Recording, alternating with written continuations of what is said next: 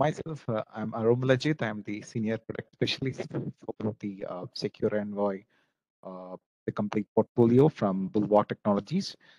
And uh, along with me, uh, there is a gentleman from um, SecurEnvoy, Mr. Ben, who is actually the pre-sales consultant for the SecurEnvoy and Secure Identity DLP. Today, just uh, we want to just give a presentation and a webinar going to conduct on the uh, secure anti-DLP that will title with everything you want to know about the data protection, but always uh, beware afraid to ask. And also, uh, we will give a clear-cut idea about how then, uh, you know, the sensitive data will be controlled and how we can give a protection on your sensitive data. So we will run through our different uh, valuable points on that particular area. And uh, in between, if you have any kind of clarifications, uh, you have any kind of queries, uh, you can just uh, put on a chat and you can just send to all the panelists. Uh, we will be answerable and we will share our uh, you know comments and response into that. So before moving uh, you know webinar in detail, we'll have a, a small uh, webinar housekeeping session that we are putting forward. Actually, all uh, will be in the silent mode, or you can just, uh, I just already mentioned, you can just share your, uh, you know, uh, queries and doubts in the chat session and send to the all panelists. And also we have a dedicated, you know, uh, Q&A session at the end of the, uh, you know, uh, the webinar or the presentation. And this webinar will be completely recorded and we will send the recording version of uh, this particular webinar that you can always review in the future. Uh, if some of uh, our valuable, uh, you know, attendee who, who, couldn't able to join today's session is particular time, so you can always review that, and you can also, uh, uh, you know, clarify, and you can just, you know, recheck with the points which Ben is going to present today.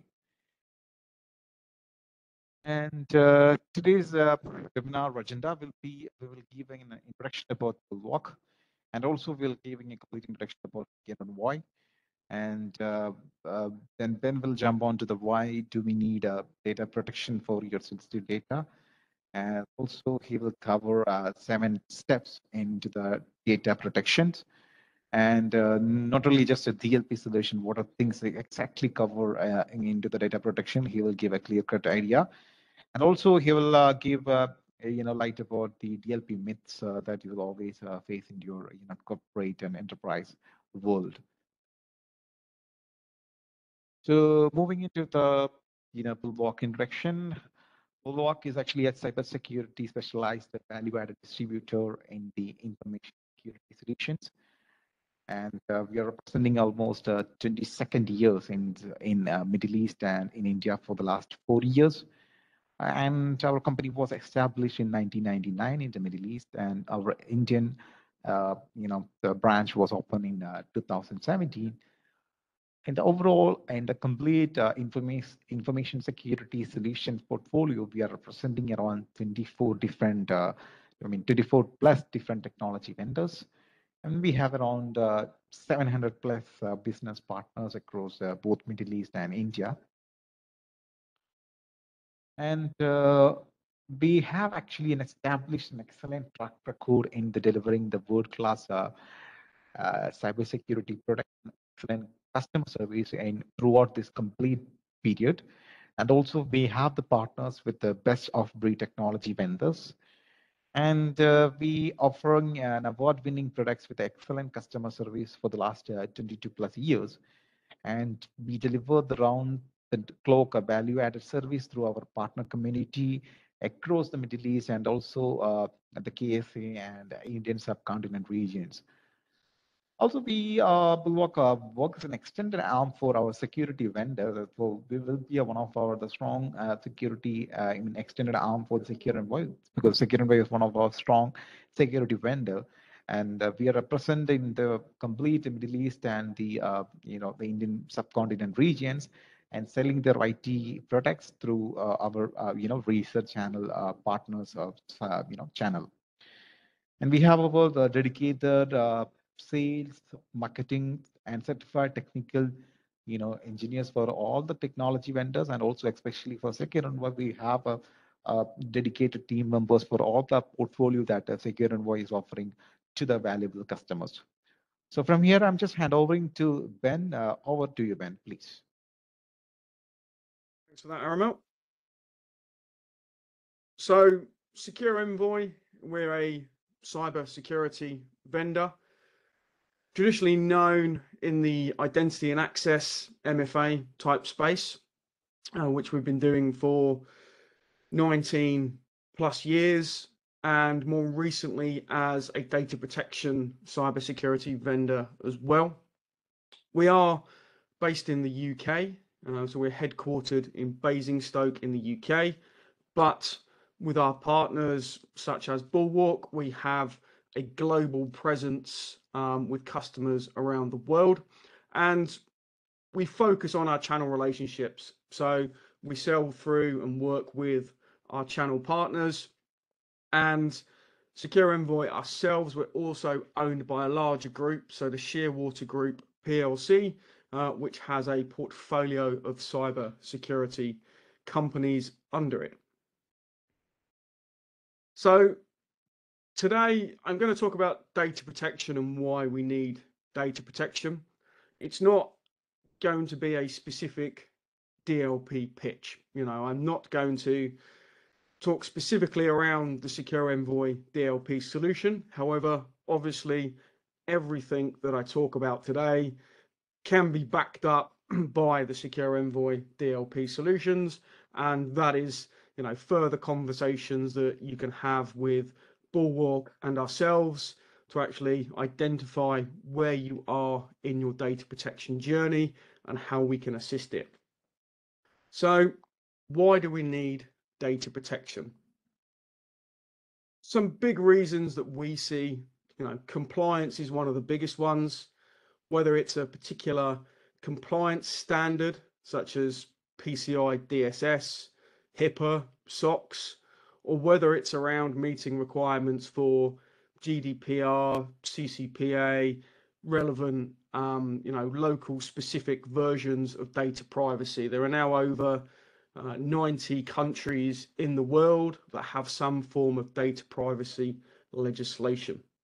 So these standards are going to stipulate how businesses should be securing PII data personally identifiable information, and other sensitive information. And DLP tools are built to address the requirements of these common standards. So understanding why we need it, other reasons for needing a data protection strategy, uh, things like protecting your intellectual property and your intangible assets. So organizations have trade secrets, other strategic proprietary information uh, or intangible assets. So an intangible asset is something like a, a customer list or a business strategy. And you know, if you lose any of this type of information, it can be extremely damaging to the business from loss of revenue, um, loss of reputation, and fines under the regulations as well. So, this type of data is directly being targeted by attackers and also malicious insiders. Having a data protection strategy and data protection policies can help us identify and safeguard our critical information assets. Another reason um, for needing data protection and a data protection strategy is visibility of our data. Nobody knows where all of their data is you know there are vast amounts of data being created every day so your data protection strategy is going to take that into consideration and it will provide an insight into how stakeholders use data and in order to protect it you must know first of all it exists where it exists who uses it what purposes it's being used for and you know that's getting more and more difficult with the amount of data that's being generated. Um, so just a stat. So from 2010 to 2020, the amount of data created, captured, copied, and consumed in the world increased from 1.2 trillion gigabytes to 59 trillion gigabytes. So in 10 years, um, it went up a massive, massive amount. So 5,000% growth. And it's only going to grow more and more. So, you know, how much data will be being produced over the next decade? So when we look at, um, you know, types of data breaches, so this is from the Egress data breach um, 2021 and 85% of breaches involved a human element. So this isn't, um, you know, computers going wrong. This isn't, um, you know, that type of scenario of sending our data out. This is actually humans being involved. So what types of attacker are targeting our businesses? And the more we understand about the types of attackers targeting our businesses, the better we can protect ourselves and be prepared for these attacks.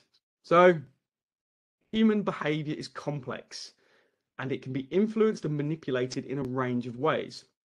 Um, all humans have fundamental psychological vulnerabilities that can manifest during times of heightened pressure of stress, and this will impact their decision making process in real time. So, what does that actually mean? That means that basically human beings can be hacked we're talking social engineering. Um, so this could be the accidental insider persona, and this is a person inside your organization being manipulated by an external attacker. So this might be a classic phishing attack, a good email that's been sent into a particular user, and they've been tricked into giving away some login details and that's the foothold that the attacker is looking for within your organization. This could also be physical. Um, somebody being, um, you know, tailgated into your building and they hold the door open for the attacker. Now the attacker has physical access into your organization and you've got a big problem. But that's accidental, you know, they don't mean to do it. However, we have to think about these things it could be uh, a malicious insider. So one of your current or potential former employees or a contractor or even a trusted business partner who has authorized access to critical assets in your system and they misuse their access to negatively affect you. So classic scenario is member of staff is leaving and they want to take a list of their contacts and customers with them because they're moving to a new sales organization or a competitor. They're trying to use that information.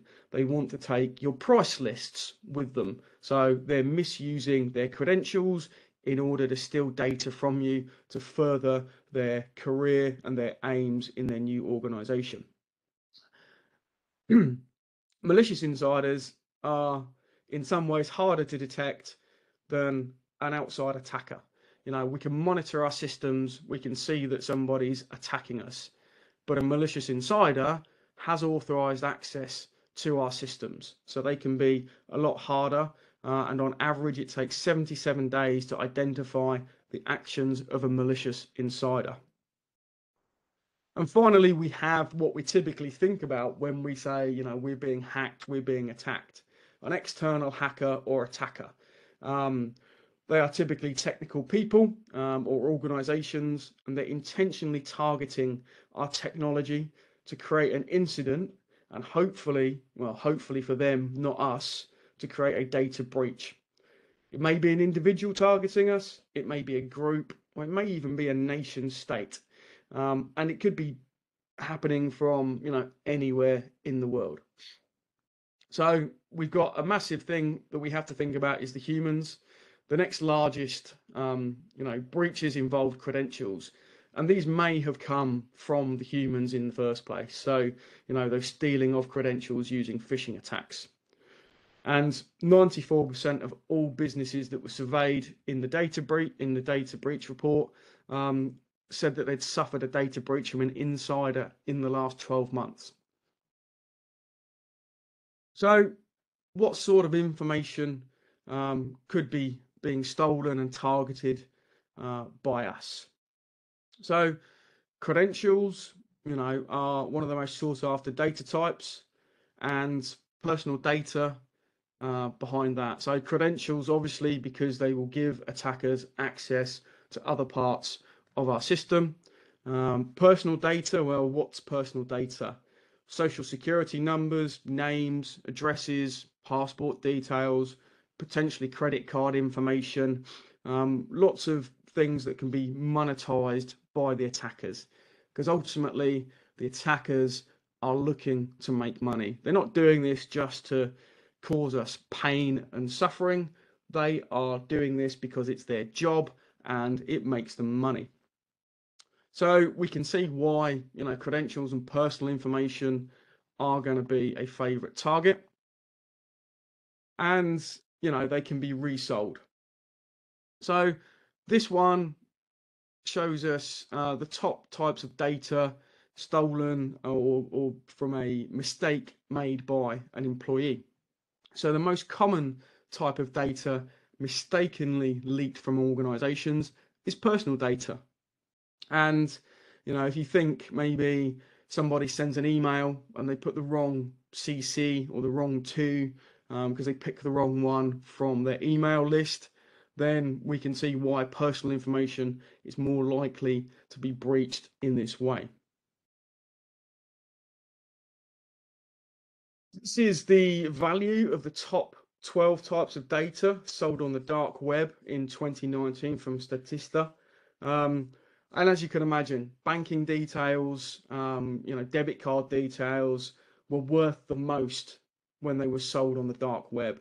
Uh, and that makes sense because they can obviously be further monetized um, by people buying them. PayPal accounts, credit card accounts, Amazon accounts, all can be used um, to buy goods and services.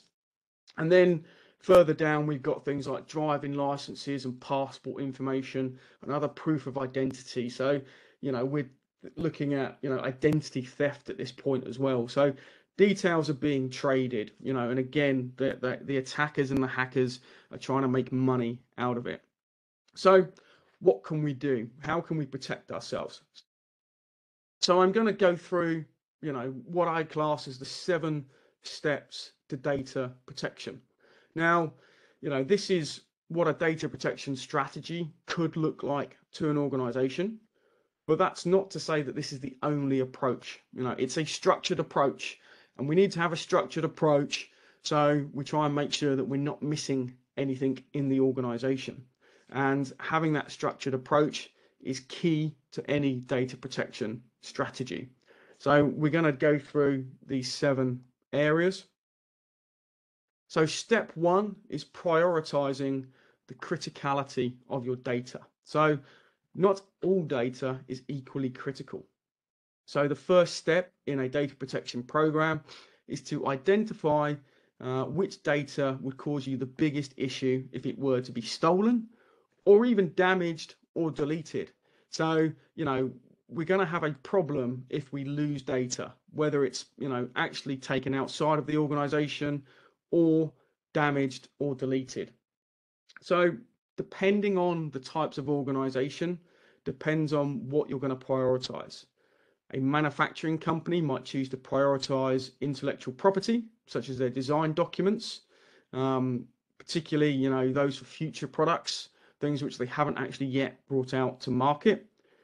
Retailers and financial service companies should obviously rank PCI data and customer data very highly. Uh, healthcare companies would prioritize medical records, PHI type data, and these are often stored on mobile devices. So it may seem obvious, but a data protection strategy should start with your most valuable data or most sensitive data because that's what's most likely to be targeted and that's what's most likely going to cause you harm if it gets lost or stolen. And it's important to engage stakeholders across the business. So a data protection strategy isn't just something for the IT department to implement. It's not just something for the data protection officer to force down onto everybody. We need to engage stakeholders across the business and then and only then can we understand which data types are most important to them uh, and to build the data protection strategy. Following on from that, mapping our data repository. So understanding where our data is being stored and therefore we can put precautions in place and protection in place for those data stores. This might be traditional on-premise file servers, it might be your endpoints. Uh, these days it's more and more likely to involve some form of cloud storage.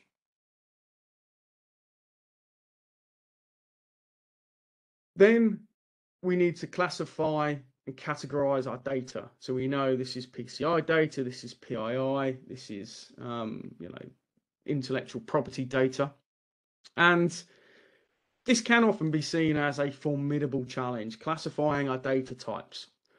And we have multiple ways we can do that within DLP tooling. Um, we can classify it based on context. So this could be either what's actually included within that data, what the data looks like. Is it PCI data? Is it PII data? Does it contain names and addresses? It could be based on the application that produced it. It could be based on where the data is being stored. So if we have a nice hierarchy of data stores and we have a folder for all of our confidential projects and we have a folder for HR data, we can classify it based on where it's living, or we could look at who created the data in the first place. What role do they have in the organization? Are they in HR? Are they in finance? We can then go further and add classification tags to the data, and then we can track that data using those tags where it's being used in the organization. And we can, you know, map those two together. Um, we can do the inspection of the content and again, you know, things like PCI data, social security information, they all follow well-defined formats so we can identify that data easily. Step three on our data protection strategy is understanding our risk profile. So this is going to vary with the types of data and where the data is going, uh, where the data is being used. So traditionally, we had all of our data on premise, all of our employees were in the office. So network-based security controls, monitoring the data within the organization. Um, it's residing inside the firewall and, you know, we had control over it. With today, we've got distributed users, distributed devices, we're sharing data more and more between our own users with third parties, customers, supply chain. And depending on the data and depending on where it's going, we have different risks. So we need to understand those risks and build out our risk profile. Um, and, you know, data is often at its highest risk when it's being used on endpoints, which are, you know, not necessarily within the corporate network and firewall these days, and even more so when it's in motion from those endpoints, when it's being used, when it's being uploaded, when it's being copied, even when it's being printed or sent via email. So data in motion and understanding where the data is being used. So that could be, you know, attaching um, records to an email or copying it to USB device. So a robust data protection strategy must account for the mobility of data and the moments when the data is put at risk. In order to help us do that, we need to understand how data is being used, identify the existing behavior that puts data at risk is a critically important stage. So we need to monitor all data flows in and out of the organization and then we can develop appropriate policies and controls that mitigate the risk of data loss while still allowing appropriate data use. So not all data movement represents data loss because to do our jobs, we have to be able to move data from one place to another. But we need to understand what is good and bad data movement. And that's done by monitoring the data flows, understanding who's sending what data to where, and then building appropriate controls. So we're gaining that visibility and then that can drive the data protection actual enforcement that we put in at a later time.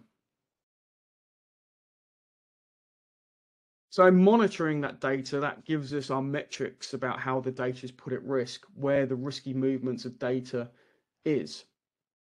Um, communication to employees is a key step, and you know this should be done as far in advance as possible. So, step five in my seven steps might be too late in the process, and actually maybe step one should include communication and control, and then it's a six-step plan to a data protection strategy. But as I say, this is not set in stone.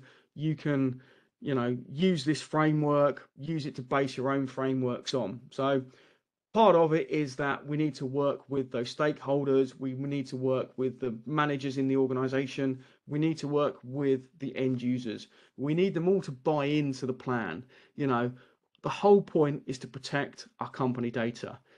If we don't have that data protected, basically everybody could be out of a job. You know, if we get targeted, if we get breached, if we have a ransomware attack, um, if we get fined, you know, millions and millions of dollars, we may not be able to survive as a business. So it is in everybody's best interest to buy into the data protection strategy.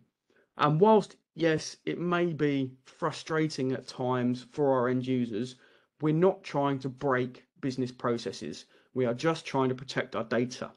So the more involved those end users are in our data protection strategy, the less likely we are to have friction when we are protecting our data.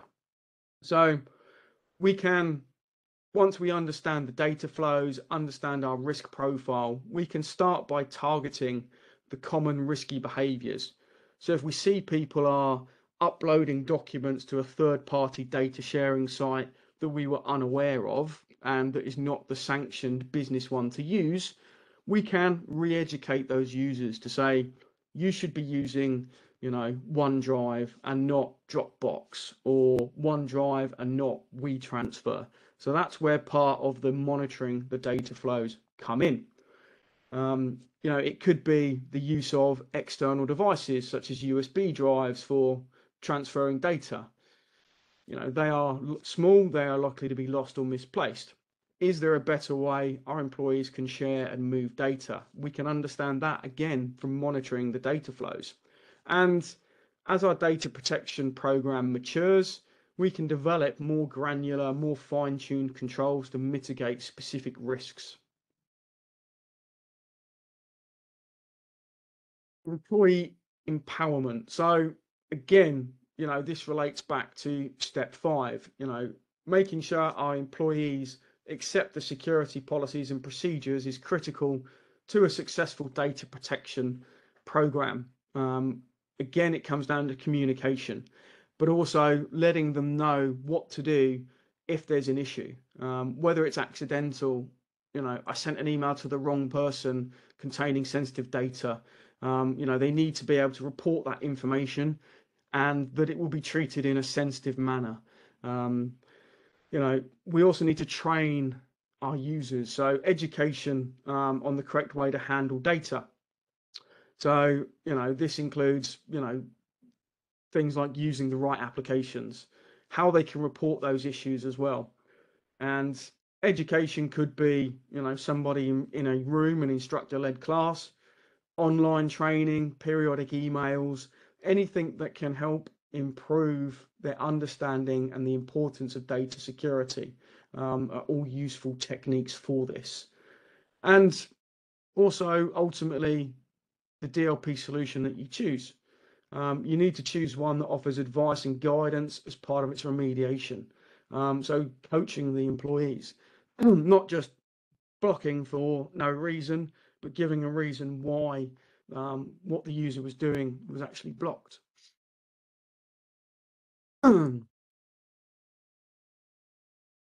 then step seven of my seven step plan, or potentially six step plan now, um, actually deploying some form of data protection technology in the organization. And this could be an enterprise DLP solution such as SecurEnvoy, Secure Identity, this could be leveraging integrated DLP in existing security technologies within your organization. But starting with your most critical data, you know, what's going to cause you the most harm. So this is the first step. And then once you've understood what your critical data is, you can expand that into, you know, a bigger data set um, or maybe, you know, classification of the data so you can fine tune your data controls, uh, monitoring, you know, that process and fine tuning as you go. And, you know, it's not a, you know, single set of steps. It's not a confined process, it's a continual process, it's a cyclical process. We understand what's critical to us now and we put protection in place. In six months' time, 12 months' time, whatever your re-evaluation is, or continuously, as data changes, as new technologies come around, as our data sharing expands, um, you know, we'll expand that as well. And also, you know, anytime your risk profile changes, if you acquire another company or you move more data to the cloud, you need to reevaluate the risks to the business and then adjust your data protection strategy accordingly. So those are, you know, the seven steps as a framework to data protection. Um, and, you know, it will get you a handle on your data and help you understand the risk to your organization. But data security or DLP is just, you know, one puzzle piece.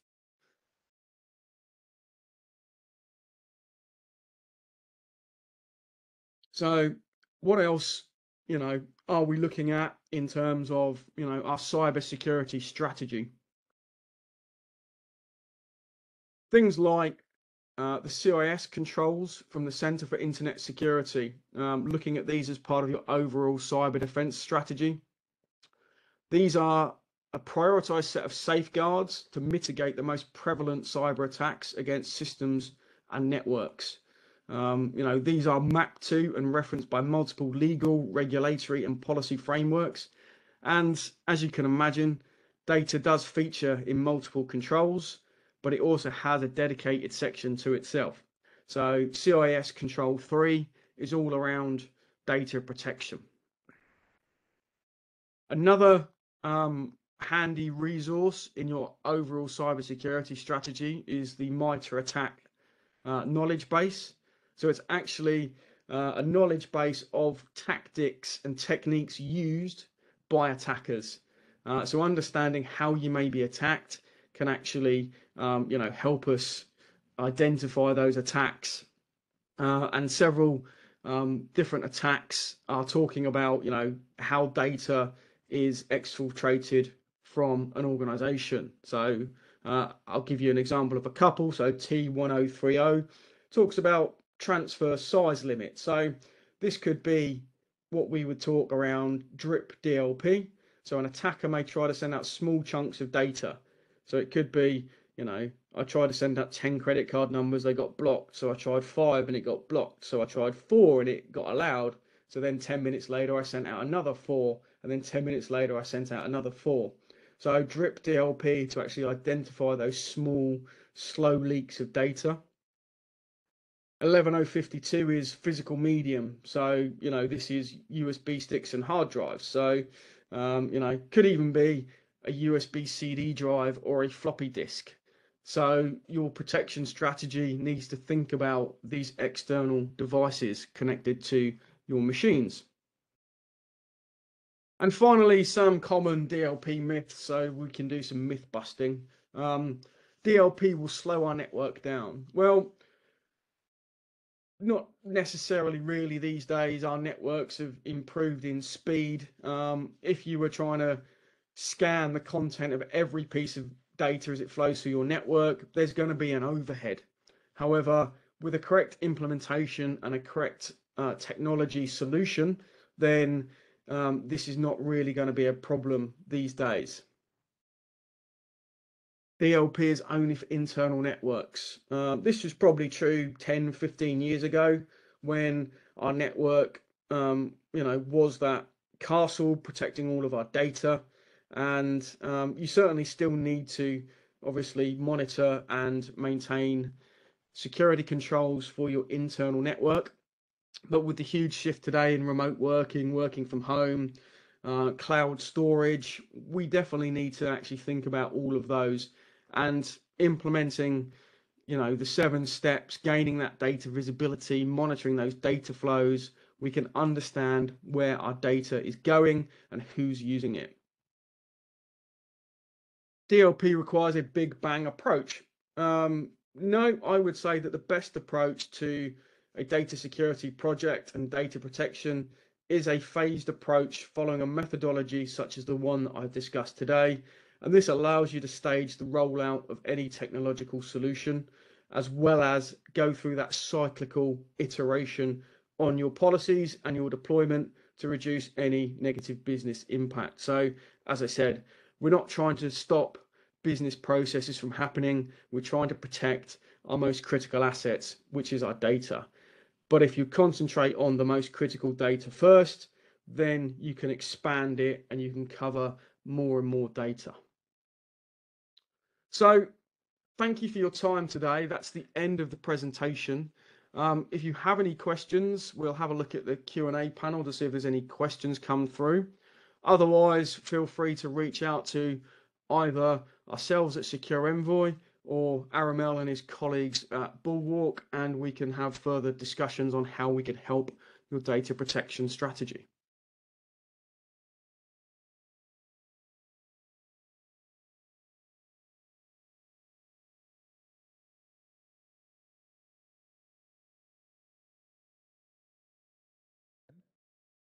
Think there is a query on the chat uh, regarding the deployment option. Yeah, yeah. So what are the types of DLP deployment for Secure Envoy? So there's there's two portions to the answer to this question. One is that our DLP solution can be deployed wherever you want it to be deployed. So we offer it as an on-premise um, DLP deployment that can still protect your devices wherever they are it can be deployed into public or private cloud. So you can have it in Azure, you can have it in AWS, you can have it in GCP. So that's the you know management side of the solution. And then we have the various enforcement points depending on the requirement. So we have endpoint DLP. So that's an endpoint agent um, deployed to your machines. So that's Windows, Mac, and Linux machines to actually protect those devices wherever they are. We then have the ability to do data at rest discovery for file servers, uh, databases, cloud services. Um, and, and again, that can be deployed wherever it needs to be in the organization. So really flexible on what a deployment looks like. And then finally, um, network-based DLP. So if you're looking to protect, you know, network level traffic in a network, or even cloud-based email from, you know, G Suite or um, Office 365, for example, then those are all options. How is it licensed? Um, yeah, so endpoint DLP is licensed per user or per device, really, per endpoint that you're going to deploy. Um, things like file share scanning, um, file server um, protection, cloud account scanning are licensed per service that you want to scan. Um, so if you wanted to scan file shares and databases, then you know that's two um, scanning targets for that.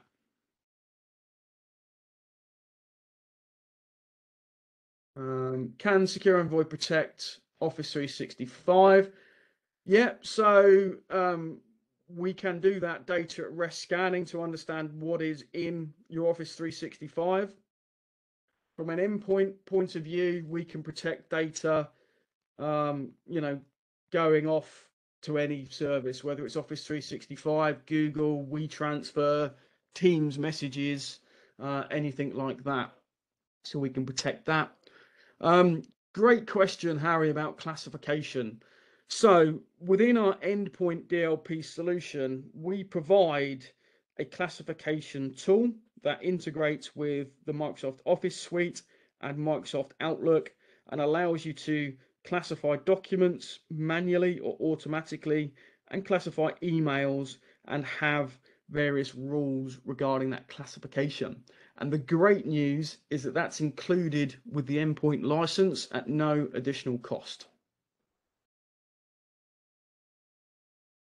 Great questions.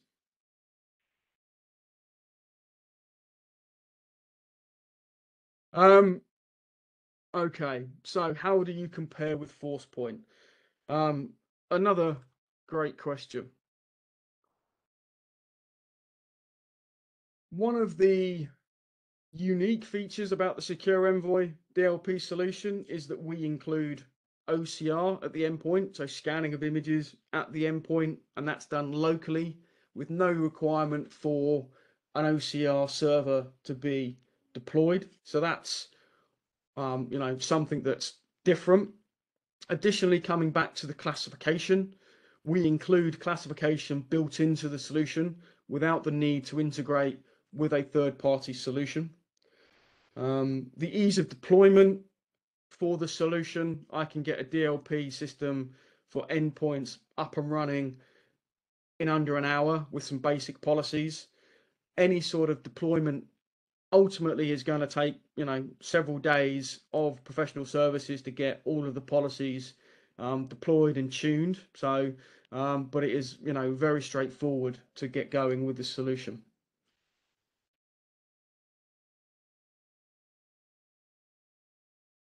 For the DLP deployment, what are the systems you need at the back end?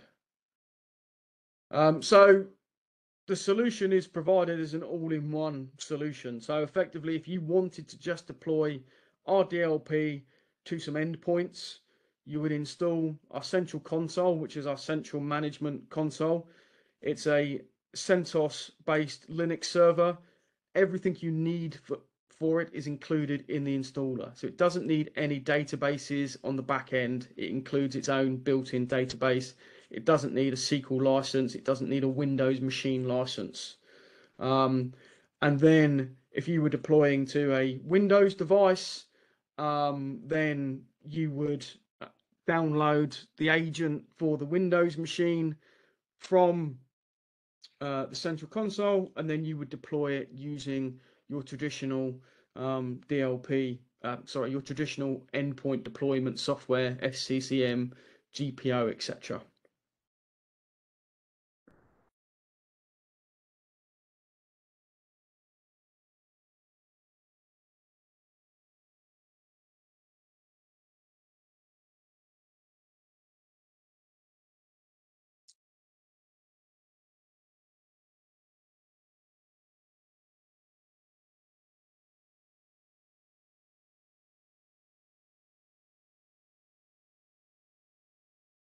So that looks like it's about it for the questions at the moment. As I say, if you've got any other questions, feel free to reach out to SecurEnvoy or Bulwark and we'll be happy to answer those. Thanks, Ben. It was a wonderful uh, session. It was detailed about uh, the complete idea about TTLP and uh, the data leakage prevention on the uh, sensitive data for any kind of an organization. And uh, believe was a couple of questions and you already answered that. And if, if anyone, anyone have any kind of you know more questions that you came across in your mind, please feel free to contact us. You can always contact us at aromel at bulwark.biz in my email ID. Um, my access is also, also available in my you know signature and, and other uh, you know kind of informations.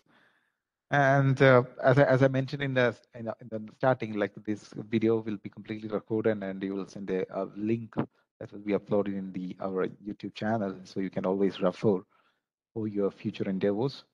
And uh, we believe that there will be a lot of inquiries comes from the uh, your valuable uh, customers that are looking for the uh, data leakage prevention. And uh, you can always consider uh, why will be the right solution in this moment. And uh, once again, I thank you all the uh, different uh, partner communities and other people who joined for this session and uh, make it happen as a successful one.